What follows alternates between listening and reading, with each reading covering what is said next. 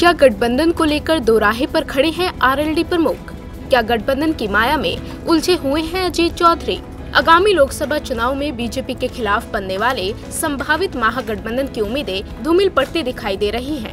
मायावती की सियासी चाल के आगे इस संभावित गठबंधन के बाकी सहयोगी एसपी, कांग्रेस और आरएलडी पस्त नज़र आ रही हैं। खासकर आरएलडी प्रमुख अजीत सिंह प्रदेश में गठबंधन की डोर को लेकर असमंजस में हैं।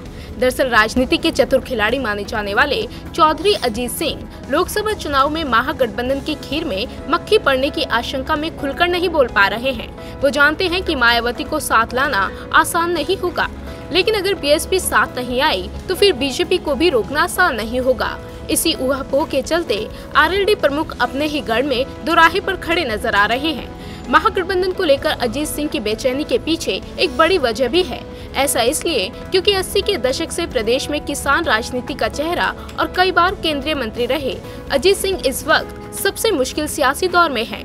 लोकसभा चुनाव में ज़्यादा वक्त नहीं बचा है, जबकि गठबंधन की तान छेड़ने वाली एसपी और बीएसपी अब तक सीटों को लेकर गर्मजोशी से चर्चा नहीं कर पाई है।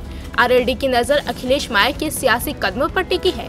अजीत जाट मुस्लिम और अनुसूचित वर्ग की तिकड़ी के ज़रिए चुनाव में उतरने की मंशा पाले हैं। लेकिन अगर बीएसपी अकेले लड़ी तो आरएलडी का मुस्लिम अनुसूचित समीकरण दरक सकता है।